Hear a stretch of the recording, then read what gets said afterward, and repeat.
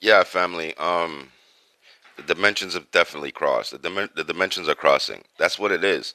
So when I was saying earlier, like the dreams feel cartoony, it's not really like cartoony. It's more like confusing because it's just too real, man.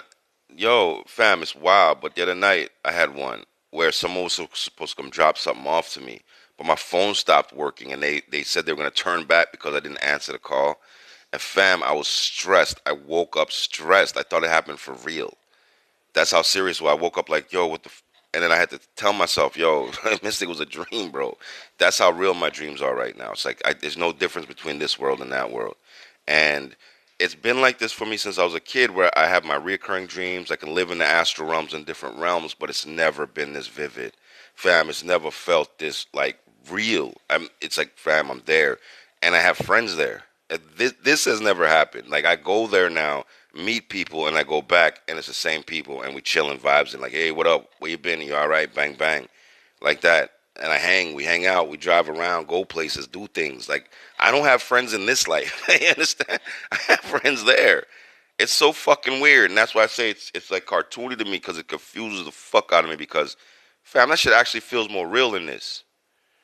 It's it's wild. It feels more real than this.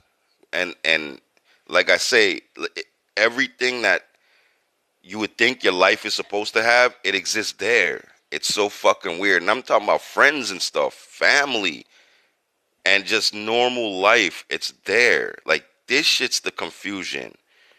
Yo, it's so wild. It's fam, it's the flip. It's like we're we're dreaming about our actual real life and living a nightmare.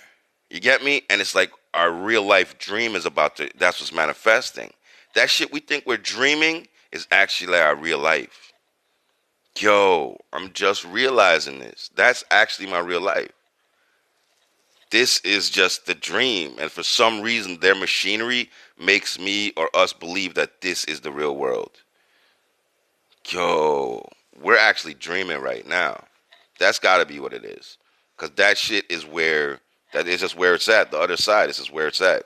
It's like heaven, but just in a realistic way. And I'd be accessing it. And now it's just getting stronger and stronger and stronger and stronger. Where this fucking world is just so insignificant right now. It's like I'm just having to go through it. For real. But that shit's more real than this. God lives there, not here. I tell you what. Anyway, stay up. Bang, bang.